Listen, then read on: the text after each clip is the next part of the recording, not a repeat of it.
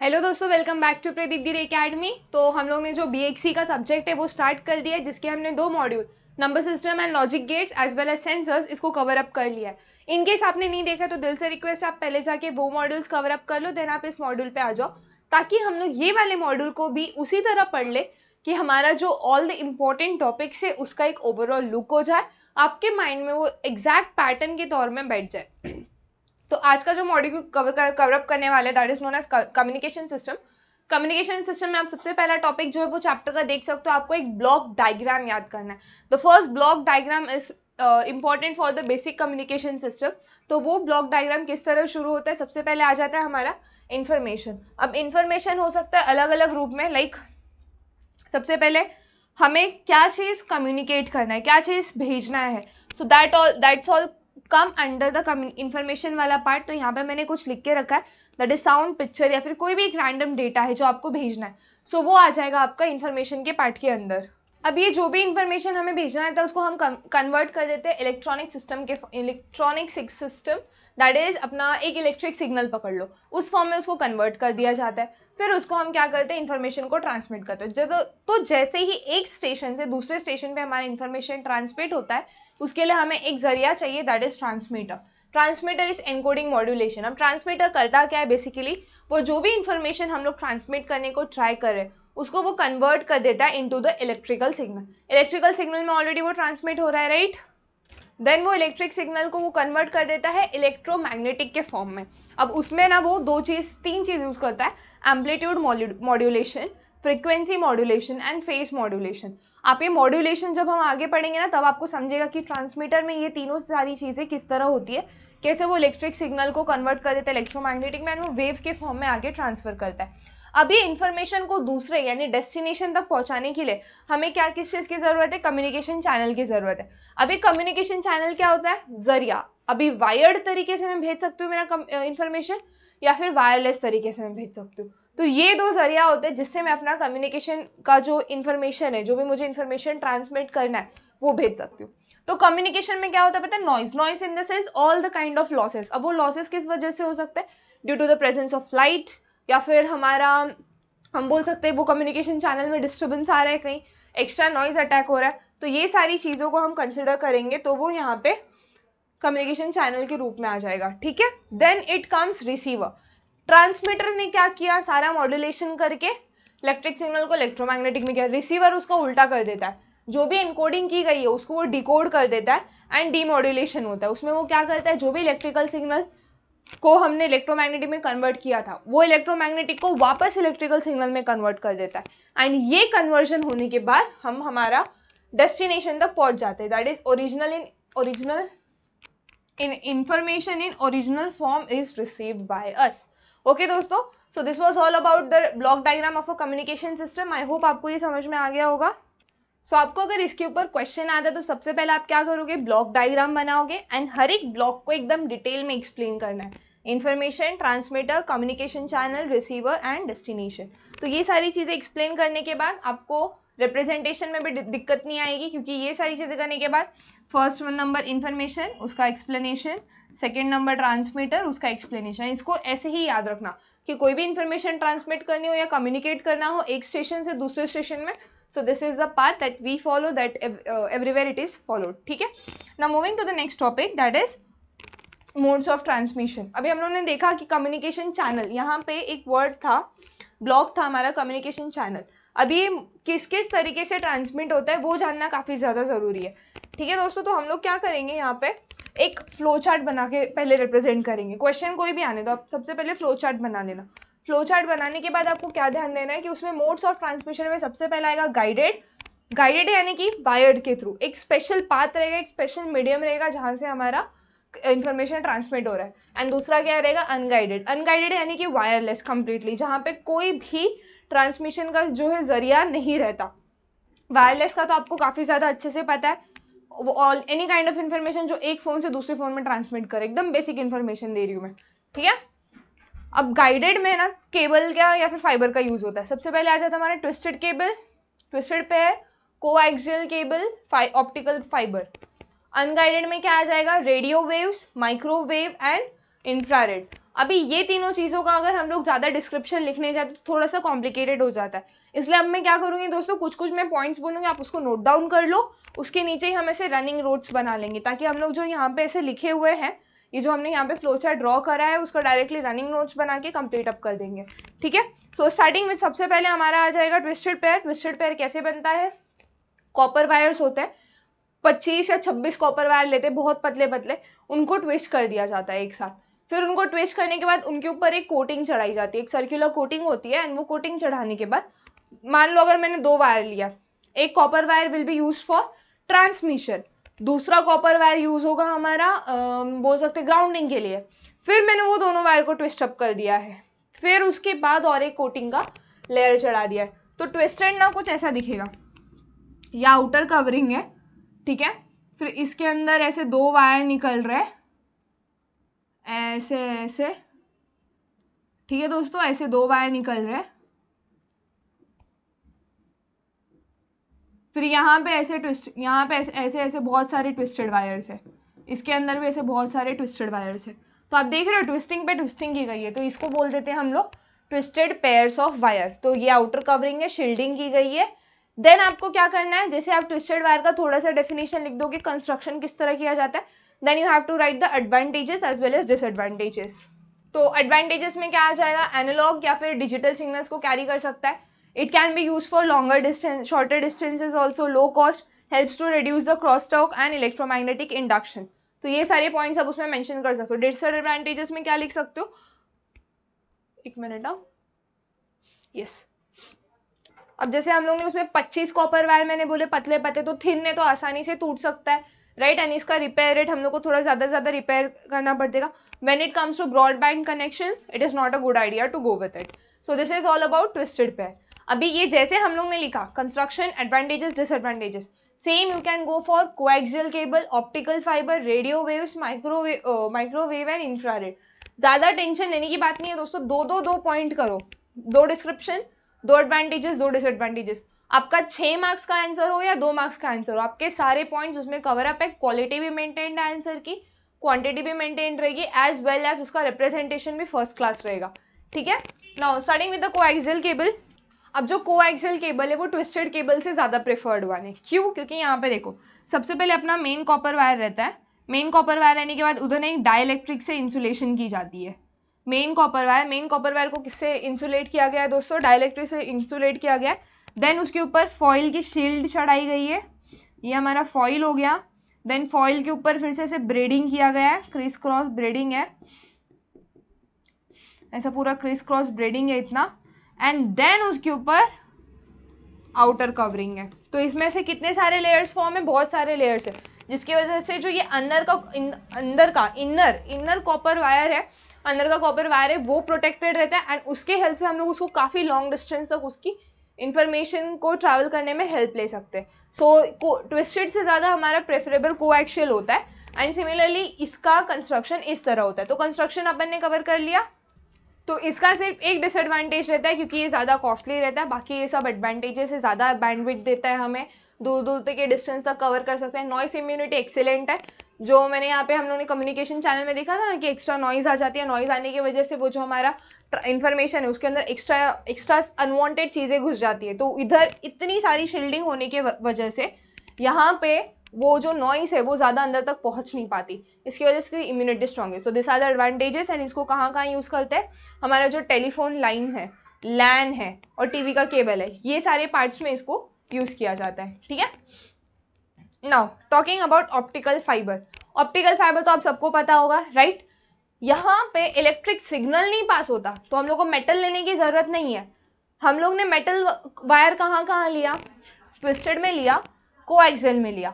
अब optical fibre में metal wire लेने की ज़रूरत नहीं पड़ती। क्यों नहीं पड़ती? क्योंकि यहाँ पे जो ट्रांसमिशन होता है, वो इलेक्ट्रिक सिग्नल के बजाय लाइट सिग्नल के फॉर्म में होता है। वो लाइट सिग्नल के फॉर्म में ट्रांसमिट होने की वजह से यहाँ पे हम लोग जो इनर वायर रहता है, वो सिलिकॉन का लेते हैं।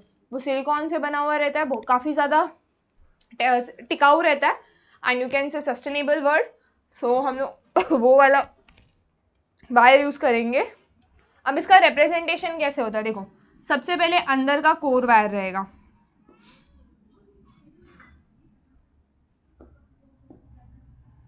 ठीक है? फिर उसके ऊपर ना एक क्लाइडिंग की रहती है। आपने देखा, वो कोर वायर किससे बना रहेगा दोस्तों? मैंने अभी अभी मेंशन किया। That core wire will be made up of silicon फिर उसके ऊपर क्लाइडिंग की रहती है देन उसके ऊपर कोटिंग की जाती है, ताकि शील्डिंग मिले। लाइट है ना? अगर वो लाइट में कोई और लाइट आ गई तो फिर हमारा जो इन्फॉर्मेशन उसमें गड़बड़ हो जाएगा। कोई और चीज़ मिक्स करके कोई और चीज़ सिग्नल बन जाएगा। तो इसके ऊपर फिर स्ट्रेंनिंग फाइबर्स रहता है, क्योंकि सिलिकॉन काफ़ी पतला रहता है। एंड ये स्ट्रेंनिंग फाइबर क्या करता है? ये पूरे जो सिस्टम हमने यहाँ पे बनाया है, उसको वो सपोर्ट करके रखता है। And then the last one is cable का जैकेट ठीक है? तो ये पूरा अपना केबल जैकेट आ जाता है। सो so, ये इस तरह हमारा ऑप्टिकल फाइबर पूरा बना रहता है। आपके नोटबुक में या फिर कहीं पर भी टाइप्स दिया रहेगा तो आप टाइप्स को भी इस तरह याद करके ले लो क्योंकि बेटर रहेगा। And this is all about अपना गाइडेड ओके सो गाइडेड में ये सारी चीज़ें आ जाती हैं। एंड ऑप्टिकल फाइबर कौन से प्रिंसिपल पे काम करता है? इनकेस आपको टू मार्क्स क्वेश्चन आया तो आप क्या लिखोगे? It works on the principle of total internal reflection जो आपने हमने ट्वेल्थ में भी पढ़ा है कि टेंथ में भी पढ़ा है। सो दैट्स ऑल यहाँ पे. And now let's go with the unguided that is wireless वाला पार्ट काफ़ी ईजी है, कुछ टेंशन लेने वाली बात नहीं रहती इसमें. So starting with unguided wireless waves we we have first of all radio waves अब ये रेडियो वेव्स क्या होते हैं दोस्तों? इसके अंदर जो वेव्स की फ्रीक्वेंसी होती है that is somewhat between three kilo hertz to one giga hertz तो ये फ्रीक्वेंसी से ये फ्रीक्वेंसी की जो भी वेव्स होती है, उनको हम रेडियो वेव्स बोलते हैं. यहाँ पे हमें कोई फ़िज़िकल मीडियम नहीं चाहिए, जैसे हमें पहले वायर्स लग रहे थे, यहाँ पे वायर के ऊपर कोटिंग पे कोटिंग की जा रही थी, नहीं, यहाँ पे कोई भी फ़िज़िकल मीडियम नहीं चाहिए। हमारा जो वेव का प्रोपोगेशन है वो डायरेक्टली या तो एयर के थ्रू हो जाएगा या तो स्काई स्काई बोल सकते हो फिर वाटर के थ्रू भी हम कर सकते हो उसको। ठीक है so this is what is about radio waves microwaves की जो फ्रीक्वेंसी है वो कुछ हो जाती है one two three hundred giga hertz ठीक है and this is termed as microwave and जो हमारा इंफ्रारेड होता है that is somewhat about three hundred giga hertz to tera hertz है फोर टेरा हर्ट्स तक रहता है हमारा, या फिर ये सेवन सेवन हंड्रेड नैनोमीटर तक रहता है but it is around four hundred tera hertz ठीक है? तो यहाँ पे ये तीनों रेंज दिया हुआ है वेव्स का जो ट्रांसमिट होती है इंफ्रारेड को हम ज़्यादा यूज़ नहीं कर सकते, क्योंकि बहुत शॉर्ट फ्रिक्वेंसी तक रहती है we can not rely much on it but when it comes to radio waves okay वहाँ पे हमारा रियल रिलाई आ जाता है, हम लोग वहाँ पे रह सकते हैं। ये जो माइक्रोवेव्स है माइक्रोवेव्स मोस्टली सैटेलाइट्स में यूज़ किए जाते हैं। ये सैटेलाइट्स में यूज़ किए जाते हैं रेडार्स में यूज़ किए जाते हैं मोबाइल कम्युनिकेशन में यूज़ किया जाता है हमारा microwave and this radio waves can be use आप लोग उसका एग्ज़ाम्पल देते हो इनकेस अगर आपको एग्जाम्पल्स पता है। और ऐसे अगर हम उसको देखने जाओ तो they are mostly use for maritime marine मतलब जो मरीन में हमारा वो सोनार सिस्टम होता है ना that is using this radio waves okay so this way some of the examples and all about the modes of transmission जो कि काफ़ी इंपॉर्टेंट पॉइंट है यहाँ पे। एंड ये क्वेश्चन तो डेफिनेटली पूछा जाता है। या तो दो मार्क्स के लिए कोई एक सिंपल सा आएगा, या तो छः मार्क्स के लिए पूरा एक्सप्लेन करने के लिए आएगा। तो हम लोग को करना कैसे है? तो मैंने तो बता दिया है, बस आप लोग उस पर लग जाना। ठीक है so this was the second major point जो हम लोग को ये चैप्टर में दिया गया है। Coming to third that is electromagnetic spectrum okay so this is electromagnetic spectrum दोस्तों, आप सब देख सकते हो। तो इलेक्ट्रोमैग्नेटिक स्पेक्ट्रम समझने से पहले हम लोग उसके कुछ मेजर पॉइंट समझने होंगे। तो मेजर पॉइंट्स यहाँ पे क्या है? वो जानने के लिए सबसे पहले ये टेबल देख लो, दोस्तों। ये टेबल में आप देख सकते हो कि अगर फ्रीक्वेंसी की रेंज 30 हर्ट से 300 हर्ट्स तक है तो उसको हम बोलते हैं एक्सट्रीमली लो फ्रीक्वेंसी एंड वो कहाँ यूज़ किया जाता है? जहाँ पे हमें लो फ्रिक्वेंसी की ज़रूरत होती है। जैसे कि हमारा infrared is very extremely so यहाँ पे फ्रीक्वेंसी रेंज अगर हम 300 टू 3 किलो हर्ट्स की बात करें तो उसको हम बोलेंगे वॉइस फ्रीक्वेंसी यूज़ कहाँ होता है? वॉइस बैंड चैनल्स में यूज़ होता है। ठीक है? देन आ जाता है three kilo hertz to thirty kilo hertz very low frequency बोला जाता है। गवर्नमेंट और मिलिट्री सिस्टम्स में यूज़ किया जाता है। Three thirty to three hundred kilo hertz को लो फ्रिक्वेंसी बोला जाता है। And marine and aeronautical navigation में यूज़ किया जाता है। अब आपको क्लियर हो रहा होगा। कि जो हमने रेडियो वेव्स माइक्रोवेव से इंफ्रारेड पढ़ा, वो कहाँ कहाँ, किस किस तरह यूज़ हो रहा है। Three hundred to three mega hertz आ जाता है मीडियम फ्रिक्वेंसीज में। वो एम ब्रॉडकास्टिंग के लिए यूज़ किया जाता है। When it comes to three mega hertz to thirty it is use for high frequency that is two way radio communication तो ये सारी चीज़ें हैं जो काफ़ी इंपॉर्टेंट है आपको समझने के लिए। अभी फ्रिक्वेंसीज को याद क्यों रखना है? क्योंकि नेक्स्ट जो टेबल है, उसमें हमें समझना है कि ये सारी जो फ्रिक्वेंसी उनका एप्लीकेशन किधर है। आपको क्वेश्चन में आ सकता है कि ये फ्रिक्वेंसी को कब, कहाँ, किस तरह यूज़ किया जाता है। तो आपको उसका करेक्ट एग्जैक्ट आइडिया तो होना चाहिए। So let's first see to the electromagnetic spectrum electromagnetic spectrum में आप देख सकते हो, जैसे जैसे हमारी फ्रिक्वेंसी डिक्रीज होते जा रही है, जैसे देखो टेन एस टू सेवन तो extremely low frequency sorry frequency नीचे इंक्रीज हो रही है एंड ये मीटर है, यानी कि आई होप आपको फ्रिक्वेंसी पता होगी कि एक सेकेंड में वो कितना वेव ट्रैवल करता है। एक second number of cycles per unit time वो हमारी फ्रिक्वेंसी हो जाती है। तो नीचे जैसे जैसे हमारी फ्रिक्वेंसी इंक्रीज हो रही है वहाँ पे ऊपर देख सकते हो जो डिस्टेंस है वो डिक्रीज हो जाता है। तो एक्सट्रीमली लो फ्रिक्वेंसी पर डिस्टेंस देखो ten is to seven three hundred में वॉइस फ्रिक्वेंसी वी एफ़ अभी हमने जो टेबल देखा वही है। सो so, इसकी मीटर इसका डिस्टेंस कितना है? Ten is to six metre then यहाँ पे ten is to five very low frequency low frequency M F H F high frequency very high frequency ultra high frequency S H F E H F extremely high frequency तो ये सारी चीज़ें यहाँ पे mention की गई है। इसको मिलीमीटर वेव्स बोला गया then you have infrared waves जो टेन टू माइनस सिक्स के डिस्टेंस पे ट्रैवल करती है। मतलब काफ़ी शॉर्ट डिस्टेंस कवर कर सकती है इंफ्रारेड फिर आ जाता है हमारा एक्सरे गैमा रेस तो आपने तो देखा ही होगा, जब आपका एक्सरे निकलता है तो वो काफ़ी शॉर्ट डिस्टेंस पे लाइट की बम्बार्डिंग होती है आपकी बॉडी पे। एंड देन वो बॉडी का जो भी हमें आउटलाइन मिलता है, वो हम एक शीट पे एक्सट्रैक्ट करके ले लेते हैं। So that's all about X rays gamma rays and cosmic rays तो ये फ्रीक्वेंसी का चैनल आपको पूछ सकते हैं। ये फ्रीक्वेंसी का जो डायग्राम है, जो रिप्रेजेंटेशन है, वो आपको क्वेश्चन में आ सकता है। Explain the electromagnetic spectrum and this is the only way how you could be explaining ठीक है? सो आई होप आपको ये क्लियर आइडिया मिल गया होगा कि हमें फ्रीक्वेंसी को किस तरह एक्सप्लेन करना है। आप फटाफट इसका स्क्रीनशॉट ले लो और और एल्स बुक है तो बुक में आप इसको हाईलाइट करके रख सकते हो, ठीक है?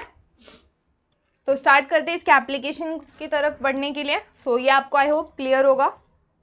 Okay so frequency ranges name क्या वो उतने फ्रीक्वेंसी को क्या नाम दिया जाता है? एंड एप्लीकेशन तो स्टार्ट करते हैं सबसे पहले। You can see that thirty mega hertz to three hundred mega hertz जो रहता है उसको हम बोलते हैं वेरी हाई फ्रीक्वेंसी अब वो यूज़ किया जाता है यूज़ क्यों किया जाता है? हमारे मोबाइल रेडियो कम्युनिकेशन में एफ़ एम ब्रॉडकास्टिंग में और टी वी ब्रॉडकास्टिंग में। जो इतनी फ्रीक्वेंसी की रेंज है, वो कहाँ यूज़ की जाती है? उसको अल्ट्रा हाई फ्रीक्वेंसी बोलते हैं एंड उसका यूज़ होता है TV broadcasting land mobile communication radar navigation हमारा satellite radio communication and cellular telephone तो ये सारी जो फ्रीक्वेंसी है, उसका एप्लीकेशन आपको वहाँ पे दिख रहा है। ये क्वेश्चन शॉर्ट शॉर्ट पूछा जा सकता है। लेट्स सी क्वेश्चन आता है या नहीं बट यू शुड नो कितनी फ्रीक्वेंसी अगर ये सब ट्रांसमिट हो रहा है, ये सब में अगर कोई इन्फॉर्मेशन मुझे भेजनी है मुझे अगर कम्युनिकेशन करना है with the help of mobile तो मेरा जो फ्रीक्वेंसी का रेंज है that will be something around here and ये फ्रीक्वेंसी का रेंज होने की वजह से हम लोग उसको बोलते हैं वेरी हाई फ्रीक्वेंसी ठीक है? So that's all about frequency का रेंज अभी आते हैं नेक्स्ट रेंजेस पे. That is three giga hertz से लेकर थर्टी गीगा हर्ट्स में. तो ये आ जाता है सुपर हाई फ्रीक्वेंसी बोला जाता है इसको. माइक्रोवेव एंड सैटेलाइट रेडियो में यूज़ करते हैं. थर्टी गीगा हर्ट से थ्री हंड्रेड गीगा हर्ट्स को एक्सट्रीमली हाई स्पेशलाइज एप्लीकेशन में रहता है। Zero point three tera hertz to three hundred tera hertz infrared बोला जाता है इलेक्ट्रॉनिक फोटोग्राफी एंड एस्ट्रोनॉमी में यूज़ किया जाता है। इलेक्ट्रॉनिक फोटोग्राफी आपने देखी होगी, वो थोड़ी सी स्कैन के फॉर्म में रहती है। एंड यह zero point three pico hertz to pico hertz to three pico hertz visible light बोला जाता है, जिसको हम फाइबर ऑप्टिक्स कम्युनिकेशन में यूज़ करते हैं। So this was all about different kind of frequency ranges that we have and the application of those frequency ranges ठीक है दोस्तों? तो इसको आप याद करके रख लो, इसको किस तरह आपको दिमाग में बिठाना है। एकदम ईजी है, कुछ कॉम्प्लिकेटेड सा नहीं है, हम लोग सिर्फ़ major major points cover up करने जा रहे हैं। ना let's move to the next topic that is हमारा मॉड्यूलेशन तो मॉड्यूलेशन का डेफिनेशन मैंने आपके सामने लिख के रखा है दोस्तों तो डेफिनेशन समझ लो डेफिनेशन कहता क्या है?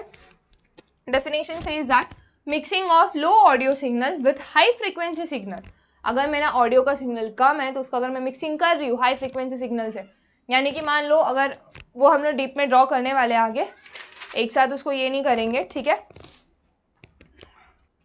तो उसका कुछ अगर मैं रिप्रेजेंटेशन करूँ तो देखो, ये मेरा ऑडियो सिग्नल है, जो मेरा ऐसे स्लो फ्रिक्वेंसी पे जा रहा है। ना, एक साइकिल कंप्लीट करने के लिए उसने कितना टाइम लिया? इतना बड़ा टाइम ले रखा है। तो this is my audio signal ठीक है? इसको हम ऑडियो सिग्नल कंसिडर करके चलते हैं। नाउ इधर हम नाम लिख देते हैं फटाक से। कहाँ चला गया? Okay E M this is मेरा एम्पलीट्यूड ये टाइम टी ठीक है? सो आई होप आपको ये रिप्रेजेंटेशन क्लियर हो गया होगा। नाउ अगर हम मैं इसका इक्वेशन लिखूँ तो ये साइन वेव है तो इक्वेशन कैसे आ जाएगा? E M amplitude sine omega T है ना? तो ये हमारा इक्वेशन आ गया। ये मेरा क्या है दोस्तों? साउंड वेव है। या फिर मैं इसको और एक चीज़ बोल सकती हूँ दैट इज़ मेरा ऑडियो सिग्नल तो ये मेरा लो ऑडियो सिग्नल है राइट इसको मैं किसके साथ मिक्स करने वाली हूँ? High frequency signal high frequency signal ताकि जो मेरा रिजल्टेंट सिग्नल हो, वो फटाफट हाई फ्रिक्वेंसी पे ट्रांसमिट हो। अभी ये मेरा ऑडियो सिग्नल हो गया। हाई फ्रिक्वेंसी सिग्नल बना लेती हूँ मैं। है ना इसका? फ्रीक्वेंसी देखो कितना ज़्यादा है। ये एक साइकिल कितने कम टाइम में कवर अप कर रहा है? नहीं मतलब for a given number of time उसमें बहुत सारे साइकिल्स आ जाएँगे। तो इसको मैं बोल दूँगी मेरा कैरियर सिग्नल जो भी हाई फ्रिक्वेंसी सिग्नल्स होते हैं, उसको मैं बोलूँगी कैरियर सिग्नल एंड जो भी ये ऑडियो सिग्नल्स होते हैं, उसको हम बोलेंगे मॉड्यूलेटिंग सिग्नल तो ये सारी चीज़ें हमने यहाँ पे नोट डाउन कर दी। जब मैं ये दोनों वेव्स को मिक्स कर दूँगी तो क्या हो जाएगा दोस्तों? देखो, बहुत इंटरेस्टिंग से चीज़ होगी। यहाँ पे मेरा जो वेव है एक मिनट आ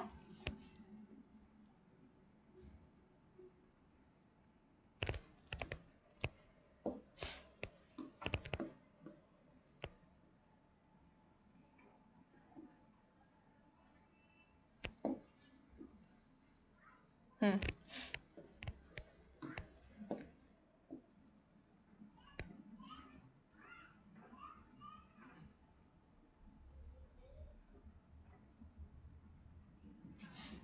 ओके.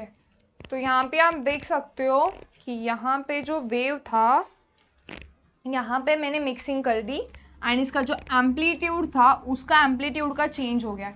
तो ये काइंड ऑफ़ मिक्सिंग या फिर मॉड्यूलेशन को बोला जाता है एम्पलीट्यूड मॉड्यूलेशन और जब मैं फ्रिक्वेंसी से छेड़छाड़ करूँगी ना मिक्सिंग करते वक्त तो उसको बोला जाता है फ्रिक्वेंसी मॉड्यूलेशन अगर मैंने फेस से छेड़छाड़ किया फेस यानी कि ये अब यहाँ से शुरू हो रहा है। अगर मैं मान लूँ यहाँ से शुरू हो रहा है या फिर मान लूँ यहाँ से शुरू हो रहा है तो अगर मैंने फेस से छेड़छाड़ किया, उसको हम बोल देते फेस मॉड्यूलेशन तो ये तो मैंने जो वेव फॉर्म बनाया ना दोस्तों this is of amplitude modulation ये ई कैरियर ये टाइम है ये, जो एम्पलीट्यूड है वो कैरियर सिग्नल के कैरियर सिग्नल का एम्पलीट्यूड है। And the last one that you can see जो वेव आप देख सकते हो, जो मर्ज करके बना हुआ है दैट इज़ नथिंग बट हमारा एम्पलीट्यूड मॉड्यूलेटेड सिग्नल क्या है ये?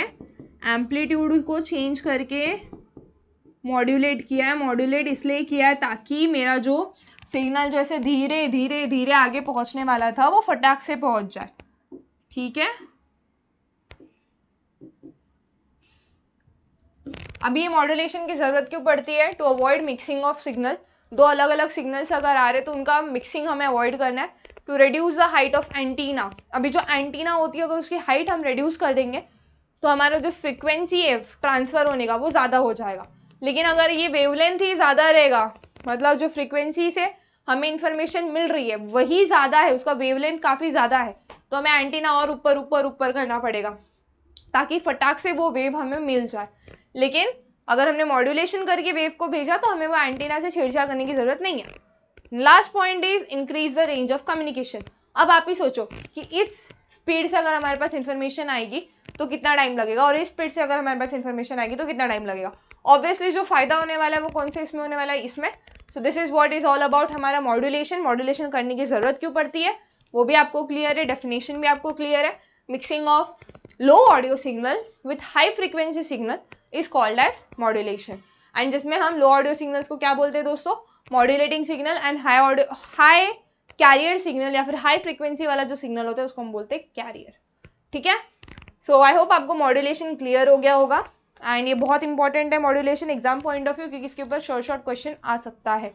पूछा गया आपके एग्ज़ाम में काफ़ी बार. ठीक है? तो मॉड्यूलेशन के फ़ायदे समझ में आए? इससे हमें क्या होता है? हाई एनर्जी लो एनर्जी को हाई एनर्जी मिल जाती है. एंड देन हमारा जो ट्रांसमिटिंग uh, सिस्टम है उसमें ज़्यादा टाइम नहीं लगता. टाइम सेविंग चीज़ है ये मॉड्यूलेशन करना. है ना? So this is all about those things जो आपको चाहिए. डेफिनेशन शॉर्ट शॉर्ट लिखना अच्छे से लिखना you will get the marks, okay? So, let us proceed with another topic. Moving to the next topic, that is हमारा एम्पलीट्यूड मॉड्यूलेशन एम्पलीट्यूड मॉड्यूलेशन का definition क्या कहता है दोस्तों? एक बार वो जान लेते हैं। Definition says that if amplitude of high frequency carrier is varied according to instantaneous value अगर इंस्टेंटेनियस वैल्यू के हिसाब से मैं मेरे सिर्फ़ एम्पलीट्यूड में चेंज करूँ तो उसको कहा जाता है एम्पलीट्यूड मॉड्यूलेशन क्या कहा जाता है दोस्तों? एम्पलीट्यूड मॉड्यूलेशन तो यहाँ पे मैंने जो साउंड वेव लिया है, वो है, जो हमने पहले ड्रॉ किया था। साउंड वेव बहुत कम फ्रिक्वेंसी से आ रहा है। ये हाई फ्रिक्वेंसी वाला एक वेव हो गया। ये दोनों को मर्ज करेंगे। ये मर्ज होने के बाद ये वेव कुछ इस तरह से प्रोसीड करेगा राइट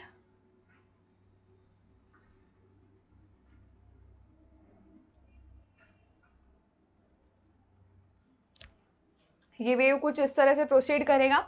यहाँ पे आप देख सकते हो कि ये जो है, ये ये वाला वेव इसका रिप्रेजेंटेशन है तो जिसकी वजह से यहाँ पे हम बोल सकते हैं ये पूरा ए एम हो गया, है ना दोस्तों? उसको हम उसको पूरा क्या बोल सकते हैं? वो हमारा ए एम हो गया। एंड देन ए सी के लिए हम क्या बोल सकते हैं इसको? ये जो ये सेंटर पॉइंट है वेव का एंड यहाँ से लेकर यहाँ तक हमारा ए सी हो गया। ठीक है? तो ये यहाँ पे हमने वेव को रिप्रेजेंट कर दिया है ए एम और ए सी के फॉर्म में। नाउ ये हो गया हमारा मैक्स एम्पलीट्यूड इधर तक आ जाएगा मेरा मैक्सिमम एम्पलीट्यूड जो जा सकता है यहाँ पे. तो इसका इक्वेशन क्या हो जाएगा दोस्तों? E M equal to A M sine omega T ये वाले वेव का इक्वेशन एंड जब मैं इसकी बात करूँ, ये ई ए एम यहाँ पे मतलब एम्पलीट्यूड जो हमने एम्पलीट्यूड मॉड्यूलेशन किया हुआ है, उसका अगर मैं इसका बात करूँ तो उसका इक्वेशन किस तरह आ जाएगा दोस्तों हमारा? E A M equal to A C plus ये हो जाएगा E A M equal to A C plus E M sine omega C T है ना? तो ये हो जाएगा sine omega C T then हमें क्या करना है? ये दोनों इक्वेशन को सॉल्व करने के बाद एक इक्वेशन मिलेगा। वो इक्वेशन का आप देख सकते हो रिप्रेजेंटेशन मैंने दिखाया हुआ है। That is E M equal to A C sine omega C T M M क्या है यहाँ पे? M is nothing but modulation index modulation index in the sense यहाँ पे वो रेशियो है। किसका रेशियो है? Amplitude of the carrier divided by amplitude of the ये जो हमारा मेन वेव था मॉड्यूलर मॉड्यूलेटिंग सिग्नल वाला वेव तो मॉड्यूलेटिंग सिग्नल वाला wave divided by carrier signal का एम्पलीट्यूड दिस इज़ अपना एम का वैल्यू ठीक है? इसको बोला जाता है मॉड्यूलेशन इंडेक्स तो यहाँ पे ये M into A C divide by two cos omega C minus omega M so omega C omega M तो आपको पता ही होगा एंगुलर वेलोसिटी एंड थीटा जो हम लिखते हैं ना थीटा हमारा फेस फेस को हम ओमेगा टी भी लिखते हैं ना तो दिस इज़ नथिंग बट हमारा फेस ये omega stand for frequency two pi F so यहाँ पे ये इस तरह इक्वेशन आपको फाइनल मिल जाएगा। इसको हम बोलते हैं amplitude modulation so this is very important जब आपका कोई भी क्वेश्चन है एम्पलीट्यूड मॉड्यूलेशन पे बहुत बार पूछा गया क्वेश्चन है ये चैप्टर में से। जितना एफएम पे नहीं पूछा उतना एएम पे पूछा हुआ है। सो so, ए का आप सबसे पहले क्या लिखने वाले दोस्तों? डेफिनेशन लिखोगे। डेफिनेशन लिखने के बाद आपको क्या करना है? ये तीनों डायग्राम को ड्रॉ करना है। ये तीनों डायग्राम को ड्रॉ करने के बाद आपको उधर मेंशन करना है। This is for modulating signal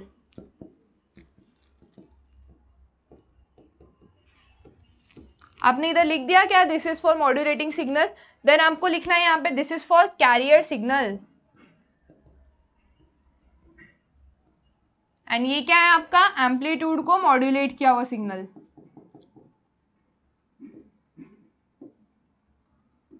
amplitude modulating signal. ठीक है दोस्तों? तो यहाँ पे हमने सारी चीज़ें मेंशन कर दी, सारे टाइप्स ऑफ़ सिग्नल सारे ये।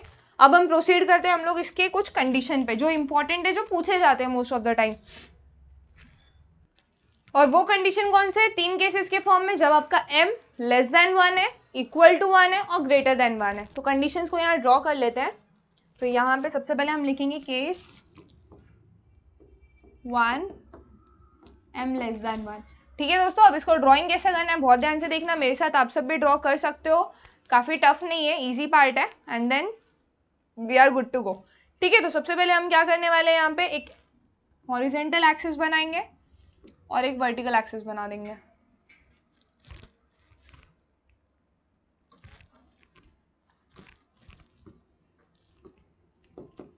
ठीक है?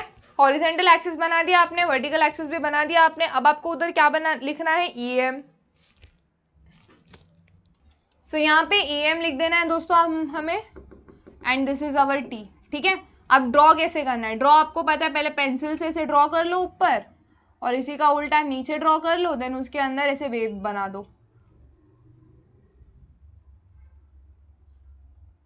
M is less than one मतलब आपका जो रेशियो है ए एम अपॉन ए सी उसका जो डिविजन का आंसर आएगा that will be from zero point something रहेगा, लेकिन वो वन नहीं रहने वाला है। तो यहाँ पे आपका M is less than one का जो डायग्राम है, वो कुछ इस तरह दिखेगा। अब आप मैक्सिमम एम्पलीट्यूड कैसे निकाल सकते हो इसमें? ये आपका ए एम हो गया, और यहाँ से लेकर यहाँ तक आपका ए सी हो गया। तो ये मैक्सिमम एम्पलीट्यूड आपका किस तरह आ जाएगा? That will be given by A C plus A M है ना? और मिनिमम किससे मिलेगा? ए सी माइनस ए एम ठीक है so this is your case one case two क्या है दोस्तों आपका? M इक्वल टू वन जब आपका m का वैल्यू इक्वल होगा तो यहाँ पे आप ऐसे हॉरिजेंटल ड्रॉ कर लो वर्टिकल ड्रॉ कर लो। ड्रॉ करने के बाद आप क्या करोगे? जो वेव है, वो वेव इस बार किस तरह आने वाली है दोस्तों? देखो, वो कुछ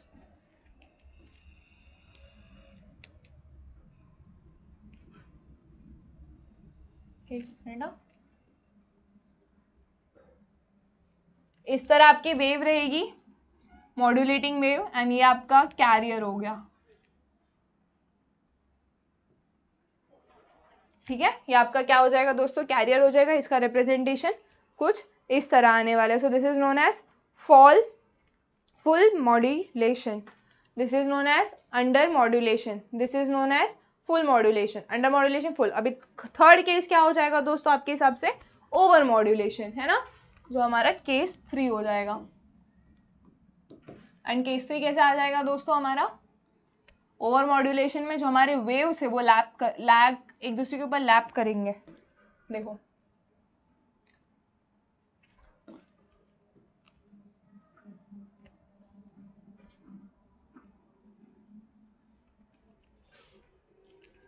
कुछ इस तरह रह सकता है। देन हमने वेव बनाने के बाद क्या बना देना है यहाँ पे? कैरियर यहाँ पे आप देख सकते हो, ये कैरियर जो है, वो यहाँ पे आके रुक जा रहा है, फिर वो यहाँ से स्टार्ट होगा। है ना? तो यहाँ पे आके हमारा रुक जा रहा है तो इधर हमारा डिस्टोर्शन रहेगा। So here we will be facing distortion तो नॉइज़ लॉस हो सकता है इन्फो का लॉस हो सकता है, कोई भी इन्फो जो हम ट्रांसफ़र कर रहे हैं, ठीक है? So this are the three cases that you have to remember इसको बोलेंगे under modulation full modulation and over modulation तो ये तीनों केसेस काफ़ी ज़्यादा इंपॉर्टेंट है, आप लोग को इसको याद रखना है। क्वेश्चन में पूछा जा सकता है। So that's was that was all about amplitude modulation अब शुरू करते हैं दोस्तों, सबसे important topic that is block diagram of A M transmitter M transmitter के ब्लॉक डायग्राम के लिए आपको सबसे पहले क्या बनाना है? वो शुरू करते हैं तो सबसे पहले आप एट बॉक्सेस बना दो, ठीक है? तो यहाँ पे हम एट बॉक्सेस बना देंगे। स्टार्ट करते हैं। One two three four four ऊपर बनाओ और चार नीचे बना दो। Five six seven, eight. ठीक है? अभी एट बॉक्सेस बना लिया आप लोगों ने। अब आपको क्या करना है? इसके बॉक्सेस के अंदर का कंटेंट तो सबसे पहला आता है आपका आर एफ़ कैरियर जो रेडियो फ्रिक्वेंसी को कैरी करता है ना, वो अपना कैरियर आ जाता है। It is actually a crystal oscillator के फॉर्म में रहता है ये। It is a crystal oscillator तो यहाँ से हमारी जो फ्रिक्वेंसी की वेव है, वो इस तरफ़ जाती है। तो एरो आपको उस तरफ़ बनाना है। ठीक है? देन एरो बनाने के बाद the next block will have buffer amplifier ये high level high modulation M हो या लो मॉड्यूलेशन एम हो, उसका प्रोसेस ऐसे ही जाता है। देर इज़ एम्पलीफायर जो वोल्टेज को एम्पलीफाई कर देता है। ठीक है? तो यहाँ पे ये मेरा फ्रीक्वेंसी कुछ ऐसे स्टार्ट हुआ। यहाँ पे जाते जाते मेरी फ्रीक्वेंसी थोड़ी सी इंक्रीज हो गई। ठीक है? फिर बफर एम्पलीफायर के बाद आ जाता है कैरियर ड्राइवर क्लास सी क्या आ जाता है दोस्तों? कैरियर ड्राइवर क्लास सी ठीक है? अब ये कैरियर ड्राइवर क्लास सी ना ऐसा फ्रीक्वेंसी वेव अपने साथ लेके जाता है जिसका आ, ये होना क्या बोलते हैं मॉड्यूलेशन होना कंपलसरी है। सो so, यहाँ पे आपका आ जाता है कैरियर ड्राइवर क्लास सी और यहाँ पे पावर एम्पलीफाइड सिग्नल रहता है। यहाँ पे जो सिग्नल चाहिए हमें इसको फ़ंक्शन करने के लिए, उसमें पावर का भी एम्प्लीफिकेशन होना चाहिए। तो जो पावर है एम का power is given by certain formula that is that is somewhat like given by P T equal to it is given by P T equal to P C one plus M square by R so this is the formula of the power transmitted फिर यहाँ पे जैसे ही हमारा power amplify हो गया, ये यहाँ पे चला जाता है। That is modulated class C power amplifier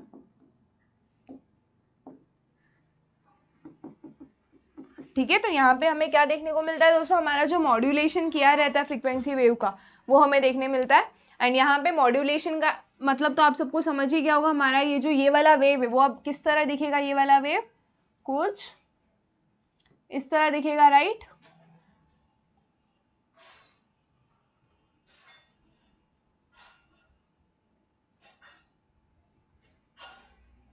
कुछ इस तरह दिखेगा तो ये हमारा हो गया modulated class C power amplifier तो ये हो गया हमारा सबसे पहला रेडियो फ्रिक्वेंसी कैरियर अगर इन केस कोई ऑडियो सोर्स आता है, अगर मान लो कोई भी आपका ऑडियो सोर्स आता है तो वो कैसे प्रोसीड करता है? हमारे ट्रांसमीटर में वो कैसे ट्रांसमिट करता है? हमारा एम्पलीट्यूड वो मॉड्यूलेशन है ना?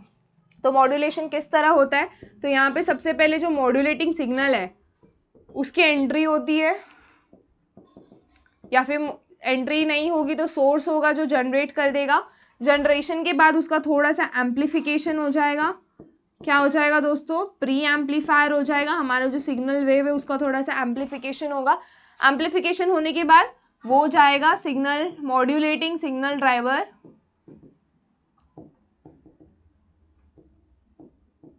class B में। ठीक है? फिर ये यहाँ से ऐसे चला जाएगा modulating signal driver class B में चला जाएगा हमारा एम्पलीफाई होने के बाद। देन हमारा ये एम्पलीफाई ये बफर एम्पलीफायर भी सेम फ़ंक्शन प्ले करता है, जो हमारा मॉड्यूलेटिंग सिग्नल एम्पलीफायर करता है। ये दोनों का कंबाइंड रोल ऐसा। एंड देन दिस ये होने के बाद जो हमारा एम्पलीफायर है, वो उसने जब एम्पलीफाई कर दिया है हमारा देन वो चला जाएगा हमारे पावर एम्पलीफायर में। Power amplifier is nothing but class B sort of रहता है वो। दोस्तों, मैं फ़ंक्शन की बात कर रही हूँ हाँ ये इक्विपमेंट्स अलग अलग है और फ़ंक्शन सेम है। एंड देन ये यहाँ चला है पावर एम्पलीफाई होने के बाद।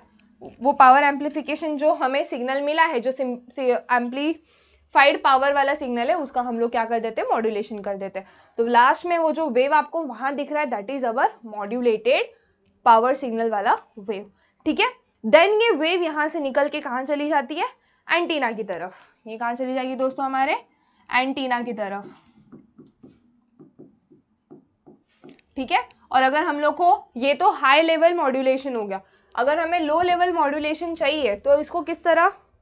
ये सिग्नल को हम लोग को एक क्लास सी एम्पलीफायर से भेजना रहेगा, ताकि वो लो मॉड्यूलेशन में चला जाए इनकेस हमें लगेगा तो।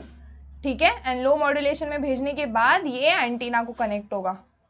ठीक है? So this is all about हमारा ब्लॉक डायग्राम जो एम ट्रांसमीटर का है। तो आपको इतना लिख के, इतना एक्सप्लेनेशन दे के भी आपको आंसर मिल जाएगा। और ये जो पावर का एम्पलीफिकेशन होता है ना, वो दोस्तों mostly thirty three percent of the supplied signal होता है। अभी थर्टी थ्री मतलब अगर मेरा सिग्नल को मैंने जब सप्लाई किया तो उसका वो थर्टी थ्री परसेंट इंक्रीज हो जाता है, जब एम्पलीफिकेशन की बात आ जाती है। So this was all about block diagram of A M transmitter I hope आपको ये क्लियरली समझा हो। एंड एग्ज़ाम में कोई भी क्वेश्चन आए इसके ऊपर just go with the same process ठीक है? फटाफट इसका स्क्रीनशॉट ले लो let's move to the next point moving towards A M receiver अब रिसीवर कैसे बनाते हैं? देखो सबसे पहले block diagram of A M receiver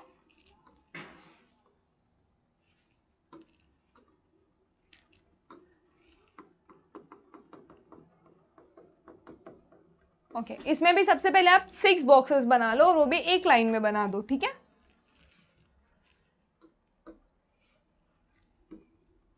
One, two,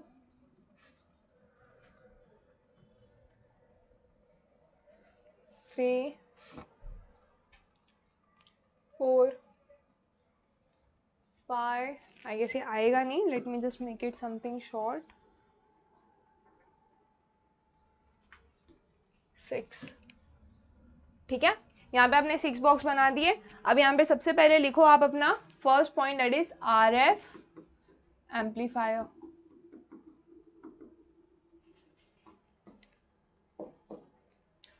पहले हम लोग बॉक्स का कंटेंट लिख देते देन हम उसको समझेंगे कि एक्चुअली फ़ंक्शन किस तरह करता है। ठीक है दोस्तों?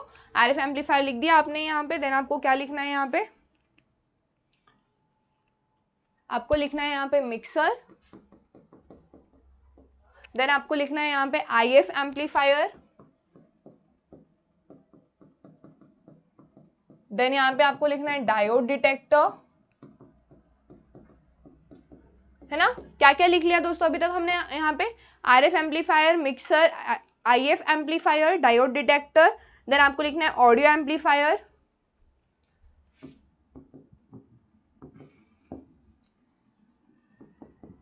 एंड देन आपको लिखना है power amplifier.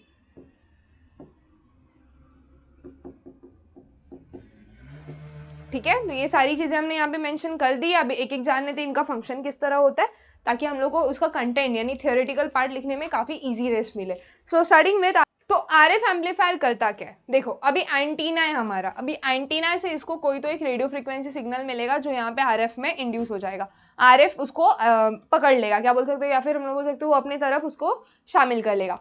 Then are F amplifier करेगा ये वाला फ्रिक्वेंसी आगे ट्रांसमिट करेगा ये कुछ 540 हर्ट से लेकर 1600 हर्ट्स तक की फ्रीक्वेंसी को ढूंढता है एंड देन उसको ट्रांसफ़र करता है आगे किलो हर्ट्स हाँ। सो ये आगे क्या करेगा? मिक्सर को दे देगा इनपुट एक इनपुट आर एफ़ एम्पलीफायर से आता है और एक इनपुट आता है जो कि होता है I F oscillator I F नहीं लोकल ऑसिलेटर से हो सकता है, हम लोग ऐसा बोल सकते हैं, ठीक है? तो यहाँ पे लिख देते हैं लोकल ऑसिलेटर ये भी कुछ अपना फ्रिक्वेंसी भेजेगा, कुछ अपना सिग्नल भेजेगा। ये सिग्नल भेजने के बाद मिक्सर एक फ्रीक्वेंसी देगा जिसको बोला जाता है इंटरमीडिएट फ्रीक्वेंसी और ये फ्रीक्वेंसी की क्या रहती है? आई एफ़ क्या रहती है? आर एफ़ की जो फ्रीक्वेंसी रहती है अगर मैं एफ़ आर एफ़ की बात करूँ तो वो एफ़ आर एफ़ हो जाएगा। माइनस एफ़ एलो एलो यानी लोकल ऑसिलेटर ठीक है दोस्तों? तो ये दोनों चीज़ हो जाएँगी। यहाँ पे मैंने आ, जो ज़्यादा जैसे रहेगा यहाँ पे वो हमें उस तरह ज्यूम करना है। Frequency of local oscillator minus frequency और आर एफ़ ठीक है? अब ये फ्रीक्वेंसी ऑफ़ आर एफ़ यहाँ आई एफ़ में एक एम्पलीफायर के पास जाएगी जो एम्पलीफाई कर देगी उसको। तो ये मिक्सर ने किया क्या दोस्तों? मिक्सर ने ये जो दो अलग अलग उसको फ्रीक्वेंसी मिली है, वो दोनों का फ्रीक्वेंसी का उसने इंटरमीडिएट निकाल लिया। एंड इंटरमीडिएट निकालने की वजह से इसमें एक फ़र्क क्या आ जाता है? एक चीज़ का फ़र्क आ जाता है कि यहाँ पे जो फ्रीक्वेंसी जो आर एफ़ हमारा वैरी होने वाला था वो वैरी नहीं होकर एक फिक्स फ्रिक्वेंसी बन जाती है। एंड देन हम वो फिक्स फ्रिक्वेंसी में जो भी इंफॉर्मेशन ट्रांसमीटर ने भेजी है, हमारे एंटीना तक और एंटीना से जो भी हम एक्सट्रैक्ट करने जा रहे हैं, वो हम लोग वहाँ पे मेंशन कर लेंगे, ठीक है? So this is all about I F amplifier then I F amplifier क्या करता है दोस्तों? डायोड डिटेक्टर क्या करेगा दोस्तों? जो भी आपका सिग्नल है, उसको वो आइडेंटिफाई करेगा। एंड देन उसको वो आगे एम्पलीट्यूड ऑडियो एम्पलीफायर में भेज देगा। ऑडियो एम्पलीफायर क्या करेगा? सेपरेट आउट करेगा। जो भी उसका ऑडियो सिग्नल है उसको वो सेपरेट कर लेगा एंड जो भी उसका एम्पलीफाइड ऑडियो सिग्नल है वो दोनों पार्ट्स को वो सेपरेट कर लेगा एंड देन उसके बाद वो पावर एम्पलीफायर में भेज देगा। पावर एम्पलीफायर का क्या फ़ंक्शन हो जाएगा? पावर एम्पलीफायर में जैसे ही वो ऑडियो आ जाता है that goes to the loud speaker ठीक है? सो so, ये यहाँ पे लाउड स्पीकर में आ जाएगा। So this is the whole block diagram for the A M amplitude modulation receiver ठीक है? आई होप आपको इसमें कोई डाउट नहीं होगा। अब लास्ट चीज़ जो यहाँ पे बची दैट इज़ हमारा वेव्स बनाना तो वेव्स बना लेते हैं।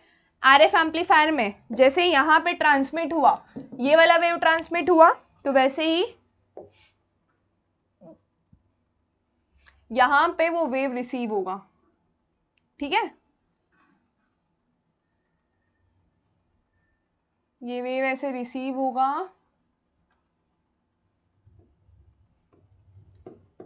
ये वेव आने के बाद यहाँ पे मिक्सर में आ जाएगा। लोकल ऑसिलेटर एक नॉर्मल वेव भेजेगा अपना।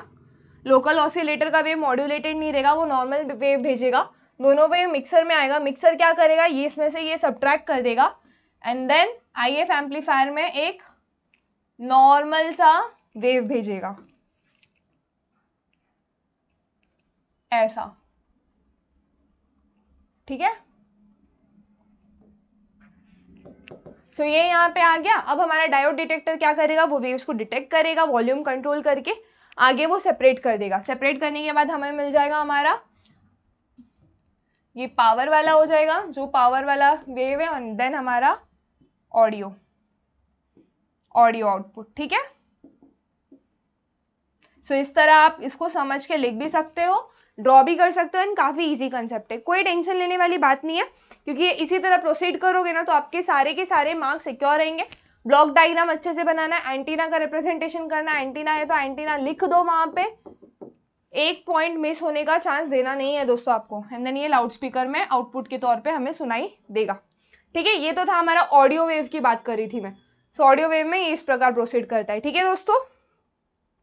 So starting with the next topic तो नेक्स्ट टॉपिक आपके स्क्रीन के सामने ये रहा that is frequency modulation I hope visible है. Okay so what does the definition says definition ये कहता है कि when frequency of carrier is change अगर हमारा जो ऑडियो सिग्नल है, उसको अगर मैंने कैरियर सिग्नल के साथ मिक्स किया एंड देन फ्रीक्वेंसी में वेरिएशन लाने को ट्राई किया not in the amplitude frequency में वेरिएशन लाने को ट्राई किया देन द मॉड्यूलेटिंग वो जो मॉड्यूलेटिंग सिग्नल के साथ जो हमें मॉड्यूलेशन मिलेगा that is known as frequency modulation उसको हम लोग बोलते हैं एफ़ एम तो यहाँ पे आपको एक चीज़ का ध्यान देना है कि यहाँ पे हम क्या चेंज करें फ्रीक्वेंसी को चेंज करें we are not concern with the change in हमारा amplitude as we are concern in the change during the amplitude modu modulation अब यहाँ पे थोड़ा सा ये ग्राफ पे नज़र डालते हैं। ये ग्राफ बहुत ज़्यादा दोस्तों सिंक्रोनाइज होना चाहिए आपके आंसर के लिए।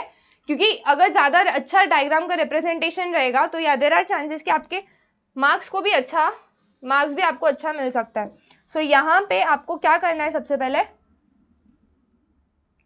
एक मिनट हाँ। यस सबसे पहले आपको क्या करना है? ऐसे एक वर्टिकल एक्सिस बना के तीन हॉरिजेंटल एक्सिस बना लेनी है।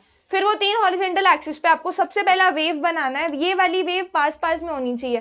क्योंकि ये हमारी क्या हो जाएगी दोस्तों? कैरियर सिग्नल ये हो जाएगी हमारी कैरियर सिग्नल। ठीक है? अब ये कैरियर सिग्नल आप देख सकते हो, एक जैसी दिख रही है यहाँ पे।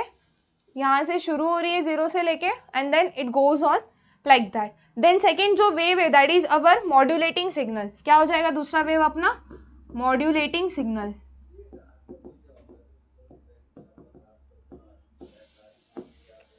ठीक है? अब ये जो मॉड्यूलेटिंग सिग्नल है, इसको आप देख सकते हो कि थोड़े से फेस के बाद शुरू हो रहा है। देर इज़ सम थोड़ा सा डेविएशन आपको यहाँ देखने मिल सकता है तो मैं यहाँ लिख सकती हूँ कि इतने एरिया में कोई मॉड्यूलेशन नहीं हुआ है है ना? फिर यहाँ पे ये इंक्रीज होना शुरू हुआ है। इंक्रीज होना यानी कि पॉजिटिव स्लोप हमें दिख रहा है। फिर जैसे डिक्रीज हो रहा है, इस पॉइंट पे ज़ीरो स्लोप यहाँ से यहाँ तक पॉजिटिव स्लोप इस पॉइंट पे ज़ीरो स्लोप यहाँ से यहाँ तक नेगेटिव स्लोप ठीक है? एंड देन वो वहाँ से इंक्रीज होना शुरू हुआ और ये इसी तरह सेम पैटर्न वो आगे तक रिपीट कर रहा है। So this is our modulating signal ठीक है दोस्तों? यहाँ पे ये जो दो पॉइंट है, ये वाले, इसको हम बोलते हैं ज़ीरो क्रॉसिंग ठीक है? देन जब ये दोनों पॉइंट मर्ज हो जाते हैं तो यहाँ पे आप देख सकते हो कि एक सिग्नल एक वेव फॉर्म जनरेट हो रहा है। That is our frequency modulation यहाँ पे आप देख सकते हो फ्रीक्वेंसी मॉड्यूलेशन में क्या हो रहा है? जैसे ही पॉजिटिवली वो पॉजिटिवली ऊपर जा रहा है, जब तक वो ग्राफ मेरा ऊपर की तरफ़ है, यहाँ पे जो वेव है, उसके बीच में ज़्यादा डिस्टेंस आ गया डिस्टेंस आ गया इन द सेंस वेव क्या हो गई है, उसकी इंक्रीज हो गई है। वेव लेंथ इंक्रीज होने की वजह से हमारी जो फ्रिक्वेंसी है वो कम हो गई। लेकिन जैसी वो ये दोनों मर्ज के नीचे चला गया, यहाँ पे फ्रीक्वेंसी बढ़ गई। यानी कि मैं कंटिन्यूसली फ्रीक्वेंसी से छेड़छाड़ किए जा रही हूँ। इंक्रीज हो रही है डिक्रीज हो रही है। इंक्रीज इंक्रीज डिक्रीज तो इससे क्या हो रहा है? फ्रीक्वेंसी में चेंजेस लेकर आ रही हूँ मैं। And this frequency changes is nothing but हमारा फ्रीक्वेंसी मॉड्यूलेशन एंड ये फ्रीक्वेंसी मॉड्यूलेशन को हम बोल सकते हैं इसमें मैक्सिमम डेविएशन हो गया है फ्रीक्वेंसी में। है ना? एंड यहाँ पे हम बोलेंगे हमारा मिनिमम डेविएशन हुआ है।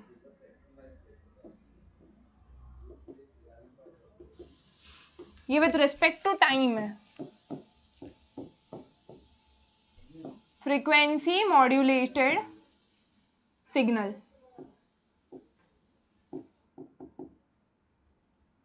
ठीक है? So this was the whole concept जिसमें आपको बहुत ध्यान देने की ज़रूरत है। एंड ज़्यादा अच्छा रिप्रेजेंटेशन रहेगा वेव फॉर्म का आपको चाहिए तो आप यहाँ पे लिख सकते हो। Negative slope positive positive slope negative slope zero crossing zero slope ताकि आपका डायग्राम जो है वो काफ़ी ज़्यादा इन्फॉर्मेटिव बन जाए। एंड यही फ्रीक्वेंसी वेव का, यही फ्रीक्वेंसी मॉड्यूलेटेड वेव का जो इन्वर्स होता है, यानी कि जहाँ पे मैक्सिमम डेविएशन आपको फ्रीक्वेंसी में देखने मिल रहा है, वहाँ पे मिनिमम डेविएशन आपको फ़ेज़ मॉड्यूलेशन में देखने मिलेगा। फ़ेज़ मॉड्यूलेशन में क्या होता है?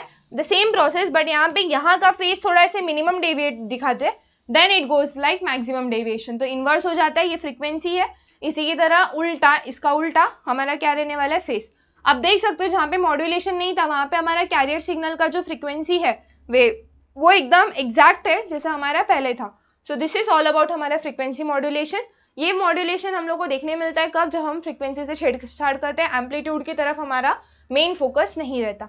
तो फटाफट इसका स्क्रीनशॉट ले लो देन हम लोग नेक्स्ट टॉपिक की तरफ़ बढ़ते हैं। So let's move towards the next topic तो यहाँ पे स्क्रीन के सामने ये रहा, बहुत इंपॉर्टेंट क्वेश्चन है, पूछा गया यूनिवर्सिटी में। So frequency spectrum of F M that is frequency modulation तो जब फ्रीक्वेंसी का मॉड्यूलेशन होता है तो हमारा स्पेक्ट्रम कैसे निकलता है? मतलब हमारा बैंडविथ एंड ऑल कैसे कैलकुलेट किया जाता है? तो यहाँ पे आप इक्वेशन देख सकते हो equation of F M is equal to A C carrier का amplitude into sine omega C T plus M F sine omega M T ये आपको लिख लेना है देन आप उसको एक्चुअली एक्सप्लेन कर सकते हो that it is equal to carrier plus कितने उसके पास साइड बैंड्स है।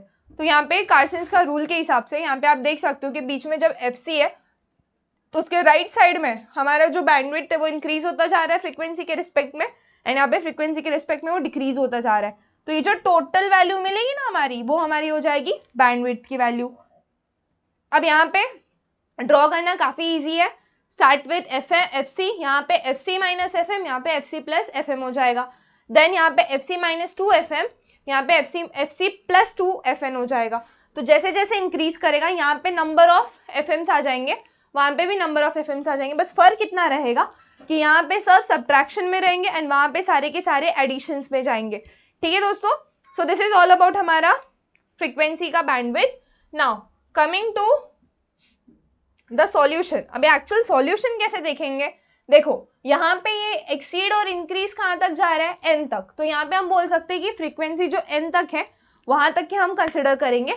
बाकी के हम नेग्लेक्ट करने वाले। तो इसमें जो एम था, वो काफ, वो क्या था हमारा? मॉड्यूलेशन इंडेक्स अब ये मॉड्यूलेशन इंडेक्स होता क्या है? एक्चुअली ये रेशियो है। किसका रेशियो है? कि हमारा जो फ्रीक्वेंसी है, वो कितना डेविएट हो रहा है? डिवाइडेड बाय मॉड्यूलेटिंग फ्रीक्वेंसी इसको वैसे ही याद कर लेना डेफिनेशन में लिखते वक्त भी आप लिख सकते हो modulation index is the ratio of maximum frequency deviation to the modulating frequency and यहाँ पे इसका फॉर्मूला फॉर्मूला आ जाएगा. देन एन का वैल्यू आपको पता है, ये है. तो इसको यहाँ पे बस पुट कर दो.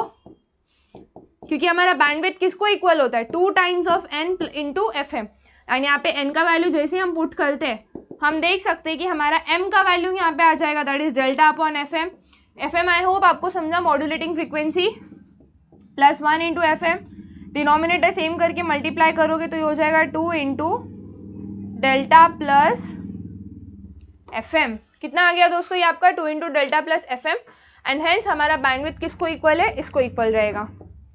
अब आप एग्ज़ाम्पल लेके प्रोसीड कर सकते हो। जैसे कि अगर हम लोग एग्ज़ाम्पल या एक्चुअल सामी ले लेते हैं कि अगर मेरा डेल्टा सेवेंटी फाइव रहा एंड मेरा एफ़ एम फिफ्टीन रहा तो ये कितना हो जाएगा? Seventy plus fifteen that is somewhat equal to seventy five plus fifteen ninety ninety into two one तो one eighty plus F M जो भी हमारा सीन रहेगा, उससे हमें मिल जाएगा बैंडविथ ठीक है? एंड मोस्टली 200 किलो हर्ट्स तक का कंसिडर करते हैं बैंडविथ ताकि कोई भी इंटरफेरेंस आए। इनकेस कोई भी इंटरफेरेंस आता है उसमें तो उसको हम अवॉइड कर सके। एंड वो हमारे फ्रिक्वेंसी के मॉड्यूलेशन को डिस्टर्ब ना करे। So this was all about हमारा frequency modulation so amplitude modulation cover up कर लिया फ्रिक्वेंसी मॉड्यूलेशन भी कर लिया है. आई होप आपको ये क्लियर होगा कि एग्ज़ाम में रिप्रेजेंटेशन किस तरह करना है.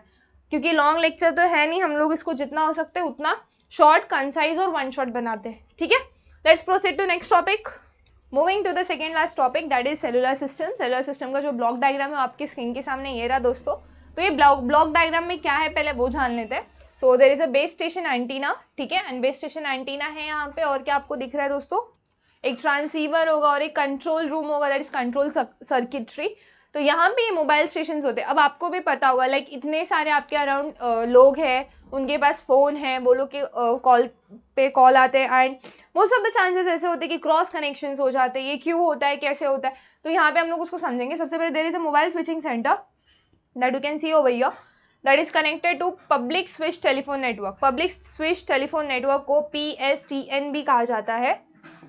पी एस टी एन तो यहाँ पे ये इसको कनेक्टेड है। अब मोस्टली क्या होता है? जितने भी इंफॉर्मेशन आते हैं, सारे के सारे कलेक्ट करने का काम, यू कनेक्ट करने का काम कौन करता है? एमएससी करता है। एमएससी क्या करता है? जितने भी स्विचिंग सेंटर्स है, सारे फ़ोन कॉल का डेटा कलेक्ट करके that gets transfer to the public switch telephone network so यहाँ पे आप एक देख सकते हो कि ये जो येलो कलर की लाइन बनाई है, ये सेल कहा जाता है। एंड इस सेल के हिसाब से ये एंटीना को खड़ा किया जाता है। आपने देखा होगा ये एंटीना हर जगह खड़े की जाते हैं।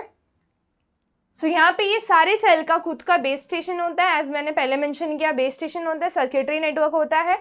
तो यहाँ पे रिसीवर सारा इन्फॉर्मेशन लेता है and then it comes to mobile switching centre at a time five thousand calls handle किए जा सकते हैं। And one thousand subscriber one thousand जो फ़ोन यूज़ करने वाले लोग हैं यहाँ पे इंक्लूडेड रह सकते हैं। ये एक सेल की मैं बात कर रही हूँ ठीक है? अब ये एक सेल में होता क्या है? जितना भी इंफॉर्मेशन है, सारा का सारा एंटीना तक ट्रांसफ़र होके वायरलेसली या फिर वायर्ड के थ्रू वो हमारे यहाँ तक कन्वे हो जाता है। तो यहाँ पे ये जो टॉवर्स दिख रहे हैं दोस्तों, आपको ये सपोर्ट करते हैं। या तो रिसीव करने का काम करते हैं या तो ट्रांसमिट करने का काम करते हैं, जो भी इन्फॉर्मेशन इनको मिलती है। And they transmit to it to the desired location तो वहाँ पे जाके सारी इन्फॉर्मेशन कन्वे हो जाती है। एंड इस तरह जो है हमारा सेलुलर सिस्टम वर्क करता है। मोस्ट ऑफ़ द टाइम ये डायग्राम पूछा गया एग्ज़ाम्स में तो इट्स बेटर कि आप इसको याद करके अब इसे रख लो। तो ये काफ़ी सिंपल था, इसमें ज़्यादा कुछ था नहीं, पूरा डायग्राम ही कन्वे कर दे रहा था कि एक्चुअली होता क्या है। Moving to the next topic guys last topic आज का that is GSM global system for mobile तो जीएसएम क्या है? ये एक तरह का 2G नेटवर्क है। 2G सिस्टम है जिसको डेवलप किया गया है, जो फॉलो करता है digital modulation and network level architectures and services ये कमीशन ये सर्विस कब स्टार्ट हुई दोस्तों? ये सर्विस स्टार्ट हुई मिड 1991 में। अब ये क्या करता है? वॉइस और डेटा जो भी ट्रांसमिट हो रहा है, उसका अगर ट्रैफ़िक क्रिएट हो जाता है इन द सेंस बहुत सारे डेटा एट अ टाइम का एक्सचेंज हो रहा है तो वो सारे जो डेटा रहते हैं, उसका ये यहाँ पे क्या करता है? दोनों को हैंडल करता है। Voice wave form is encoded before transmission ये जो है एनकोडिंग भी परफॉर्म करता है ट्रांसमिट करने से पहले सो उधर वहाँ पे इतना डिफरेंस आने का चांस नहीं रहता है। जैसे हम चाहते हैं हमारा डेटा ट्रांसफ़र हो, वैसे हमारा डेटा ट्रांसफ़र हो जाता है। And the fourth point is the G S M transmission is done कितनी फ्रीक्वेंसी के बैंड से किया जाता है दोस्तों? 900 mega hertz to 1800 mega hertz या 1900 मेगा हर्ट्स की फ्रीक्वेंसी से इसको ट्रांसमिट किया जाता है। तो जी एस एम काफ़ी ज़्यादा देखे जा, देखा जाने वाला एक तरीका, एक सिस्टम है, जो अभी अप्लाई किया जा रहा है मैम हमारे मोबाइल्स को और एडवांस बनाने के लिए। और भी सारे, बहुत सारे टेक्निक्स का डेवलपमेंट हो रहा है तो आप, अगर आपको कोई टेक्निक पता है तो please let us know in the comment section काफ़ी इंटरेक्टिव सेशन बन जाएगा। तो ये यहाँ पे हमारा जे का टॉपिक है। एंड यहाँ पे इसका जो मोस्टली आज क्वेश्चन जो एग्ज़ाम्स में काफ़ी बार पूछा गया that is the block diagram तो जैसे हमने सारे के सारे ब्लॉक डाइम ब्लॉक डायग्राम प्रीवियसली कवर किया सेम वे में सारे ब्लॉक डायग्राम हम फिर से कवर अप करेंगे। तो यहाँ पे आप देख सकते हो ब्लॉक डायग्राम मैंने ऑलरेडी ड्रॉ किया गया है। तो आप कैसे ड्रॉ कर सकते हो? सबसे पहले आप चार बॉक्सेस बना दो। एंड यहाँ पे दो कनेक्टिंग बॉक्सेस एक माइक्रोफोन और एक लाउड स्पीकर फिर यहाँ पे वॉइस बना दो, जो एनालॉग से डिजिटल या फिर डिजिटल से एनालॉग के फॉर्म में ट्रांसमिट होगा। Then G S M voice coder channel coding interleaving and deinterleaving ciphering and deciphering आप देख सकते हो कि यहाँ पे दो दो अपोजिट चीज़ है। Analog to digital digital to analog एक साथ प्लेस की गई है। G S M voice coder है। चैनल की कोडिंग और डिकोडिंग भी यही हो रही है। सिफरिंग एंड डी सिफरिंग भी यही हो रहा है। डी मॉड्यूलेटर भी यही है। रेडियो फ्रीक्वेंसी का भी ट्रांसमिशन यही है। गौशियन सिस्टम जो यहाँ पे फुल फॉर्म आ जाता है उसका, Gaussian minimum shift G S M G M S and keying Gaussian minimum shift keying modulator भी यही है। R F transmitter and receiver is also here so ये हमारा एंटीना हो गया यहाँ पे। ठीक है? तो यहाँ पे क्या होता है ना दोस्तों, ये जो एरो भले इस साइड है बट यहाँ पे जो भी एक्टिविटी ना, सारी की सारी उल्टी हो जाती है यहाँ पे। देखो, ये जो ट्रांससीवर एंटीना है, जो ट्रांसमिट या फिर रिसीव करेगा रेडियो फ्रिक्वेंसी सिग्नल सिग्नल को, ये ऑपोजिट डायरेक्शन में सारी कन्वर्जन करता है। Analog to digital digital to analog जो भी कन्वर्जन करेगा, वो सारी ऑपोजिट डायरेक्शन में करता है। तो इसके लिए आपको क्या करना है, ये जो डायग्राम है, इसको प्रॉपरली इसी फॉर्मेट में बनाना है बट एकदम पहले ही मैंशन कर देना है कि it does the task in opposite direction depending upon the transmission ठीक है, अब यहाँ पे क्या होगा? माइक्रोफोन और लाउड स्पीकर ऑपोजिट तरीके से यूज़ किए गए हैं। चैनल कोडिंग भी ऑपोजिट तरीके में किया जाएगा। Like it can go from here to here and then we can see all the kind of encoding या डिकोडिंग जो वहाँ पे की गई है। ठीक है दोस्तों तो ये रहा हमारा लास्ट ब्लॉक डायग्राम ये चैप्टर का, जो पूछा जा सकता है। अब एक बार इस अब एक बार इसके फीचर्स पे नज़र डाल लेते हैं तो ये क्या करता है? मैक्सिमम अमाउंट ऑफ़ सब्सक्राइबर्स को सपोर्ट करता है। ये हमारा फ़ोन का सिस्टम है दोस्तों। जीएसएम आर्किटेक्चर इज़ डिफरेंट ठीक है? एंड ये ज़्यादा से ज़्यादा सब्सक्राइबर्स को सपोर्ट कर सकता है। देन नेक्स्ट पॉइंट अगर मैं नेक्स्ट पॉइंट की बात करूँ तो short messaging services that is S M S S S S M S भी जी एस एम से हम लोग कर सकते हैं। Global system for mobile then SIM SIM का फुल फॉर्म क्या है? सब्सक्राइबर आइडेंटिटी मॉड्यूल तो ये जो सिम का फुल फॉर्म है, ये यहाँ पे क्या करता है? सिम भी यूज़ करते हैं। दैट स्टोर्स इन्फॉर्मेशन जैसे कि फ़ोन नंबर हमें स्टोर करना है, किसका नंबर है, वो स्टोर करना है। And it uses four digit का पर्सनल आईडी तो सिम तो कैसे यूज़ करते हैं, आप सबको पता ही होगा, हम उसको फ़ोन में हमारे इंसर्ट कर देते हैं, जिससे हमारा सारा इन्फॉर्मेशन डिस्प्ले हो जाता है हमारे फ़ोन में. एंड ऑल दोज थिंग तो GSM इसको सपोर्ट करता है. And this privacy privacy is very important जो हमें जी की हेल्प से मिल जाती है। तो this was all about features of G S M तो जी एस एम कहाँ कहाँ हम यूज़ कर सकते हैं? मोबाइल ऑफ़िस हो गया फिर कोई भी ट्रांजैक्शनल सर्विस करना है वो हो गया। पर्सनल सर्विस करना है वो हो गया। गेम्स वगैरह खेलने हैं तो उस वो भी हो गया। सो so, ये सारी चीज़ें ये सिस्टम के अंदर इंक्लूड हो जाती हैं दोस्तों। So that's all about today's lecture I hope आपको आज का लेक्चर पसंद आया है। पसंद आया तो प्लीज़ वीडियो को लाइक कीजिए चैनल को सब्सक्राइब कर दीजिए अगर आप नए हैं एंड अपने दोस्तों में शेयर कीजिए। एंड हम ज़्यादा से ज़्यादा हो सके उतने लेक्चर्स लेके आएँगे। ये वन शॉट लेक्चर था जिसमें आपको एक कंप्लीट आइडिया मिल जाए कि पूरे मॉड्यूल में है क्या। एंड ये मॉड्यूल करने के बाद आपको एक कॉन्फिडेंस आ जाए कि येस इतना हो गया एक घंटे में तो बाकी के जो छोटे छोटे टॉपिक्स बचे हैं कवर अप करने के लिए वो भी हो जाएँगे। सो so, बस यही हमारा मोटिवेशन है कि दोस्तों को कभी अकेला ना फील हो like we are in this together so keep learning keep growing good bye take care